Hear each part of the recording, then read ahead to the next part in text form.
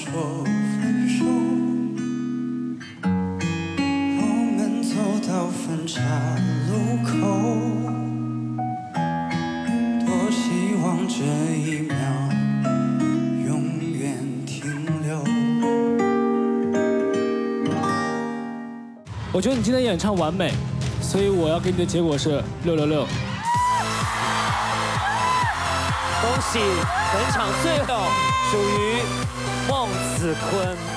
对自己晋级了有什么想法没有？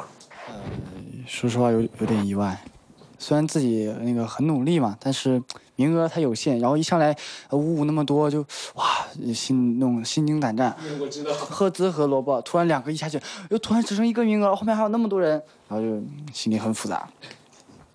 我们两个就一个 double 的吧，孟子坤。嗯，对，因为我因为我觉得就是很棒。他唱的时候我们都哭了。但是我觉得重点是先撇开他的长相跟他的唱功，我觉得他那个故事是挺感动我的。因为其实家庭原生家庭给一个小孩的一个的观念是非常的重要，但是他在这样的家庭生长，他没有去改念他改变他的观念，这个是很好的。对。音乐对你来说是坚持的最久的事情吗？因为对你来说算什么？目前感觉大部分的东西都是他吧。我这个人，就平时这个干一下那个干一下，打游戏都是，但音乐每天都是。我现在的书包里还有我的音箱。刚才在机场的时候还在写歌。我觉得音乐可以表达自己最真实的感受，有的话你说出来，可能别人还觉得你在做戏。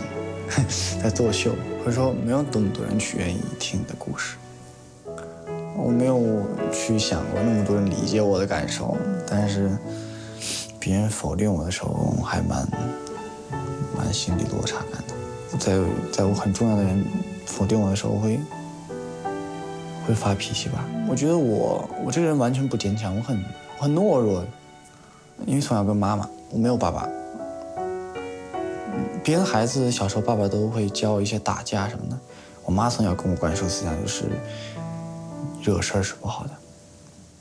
你怎么看待这个节目？说实话很重要。可能因为有个导演跟我说，他觉得我对这个节目不上心，像一个吊儿郎当、就什么都不在乎的人。我还是那句话，我表现的无所谓，其实我很在乎。我对什么事情都三分钟热度。没有一个可以自己坚持下来的但音乐有的时候，其实你完全不知道你在坚持什么，但是你就觉得它就是对的。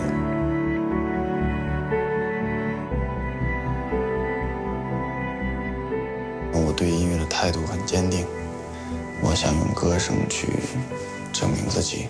大家好，我是盛世魔音天秤座吕泽州。首先呢，先感谢各位粉丝这段时间对我的帮助以及支持和鼓励，希望大家更加的多多的去支持我，去鼓励我，给我加油。如果有下一场的话，小吕一定会带给大家更好的表演。谢谢大家。我要这铁棒与